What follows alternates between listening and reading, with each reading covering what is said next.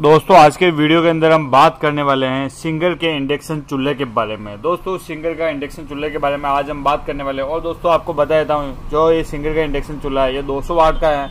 और दोस्तों, इसके अंदर देख लीजिए आप, सेवन ऑटो कुक सेटिंग, यानी कि सात ऑटो कुक की इसके अंदर सेटिंग मिलती है आपको। और दोस्तों, यहाँ पे देख लीजिए, वन ईयर वारंटी, यानी कि एक साल की वारंटी मिल जाती है।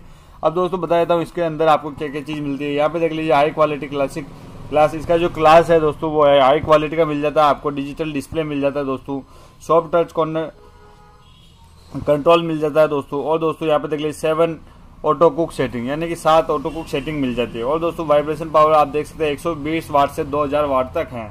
और दोस्तों ऑटो शॉक प्रूफ सेंसर भी लगा हुआ है, जिससे कि आपको शॉक नहीं लगेगा। उसके बाद दोस्तों, आप देखोगे तो ये फ़ीस भी दिखने में बहुत ही प्यारा है। अब बात कर लेते हैं दोस्तों इसकी प्राइस के बारे में और इसके एमआरपी के बारे में कि इसकी एमआरपी प्राइस क्या है। दोस्तों, आप यहाँ पर प्राइस देखोगे तो आपको तीन हज़ार तीस रुपये इसकी एमआरपी प्राइस बताई गई है। लेकिन दोस्तों, अगर आप इसे मार्केट से परचेज करते हैं तो ये अप्रोक्स आप दो हज़ार रुपये के समथिंग आराम से इसे परचेज कर सकते हैं।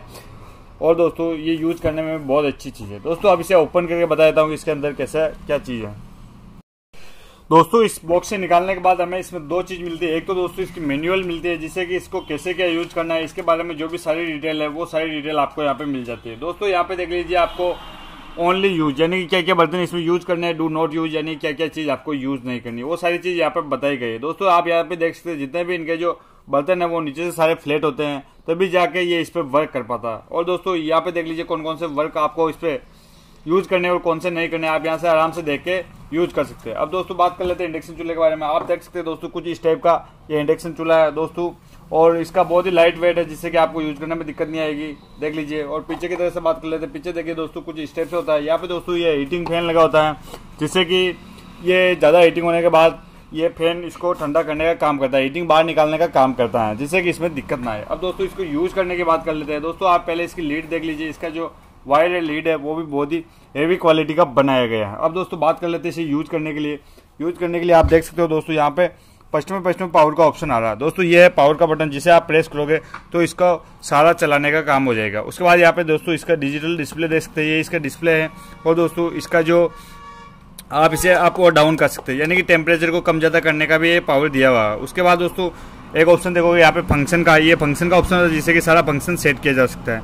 और दोस्तों, यहाँ पे देख लीजिए टाइमर का ऑप्शन है जिससे कि आप टाइमर कम ज़्यादा टाइम करने के लिए वो सारा दिया हुआ है। और दोस्तों, जो भी आप यहाँ पे करोगे, वो सारा इस डिस्प्ले पे आपको दिखाई देगा। उसके बाद दोस्तों, यहाँ पे देखिए डीप फ्राई करनी है तो आप इस पर कर सकते हैं। प्रेशर कुकर पे अगर काम कर रहे हो तो इस पर कर सकते हैं। हीट मिल्क यानी दूध को अगर आप गर्म कर रहे हो तो इस पर कर सकते हैं। करी बनानी है तो आप इस पर कर सकते हैं। सॉल्ट करना है, यानी किसी चीज़ को उबालना है तो आप इस पर करके आराम से उबाल सकते हैं। इडली बनाना है तो आप इडली पे लेके कर सकते हैं। उसके बाद दोस्तों वाटर पे देखोगे वाटर गर्म करना तो आप वाटर पे लेके आराम से गर्म कर सकते हैं। अब दोस्तों, बात कर लेता हूँ, जो भी इसके बर्तन होंगे ना, आपको ये जो ये राउंड वाला गोल गेला घेरा दिख रहा है ना, इसके बीच में रखना, जिससे कि वो गर्म होने में दिक्कत नहीं आएगी और आराम से जल्दी से गर्म हो जाएगा।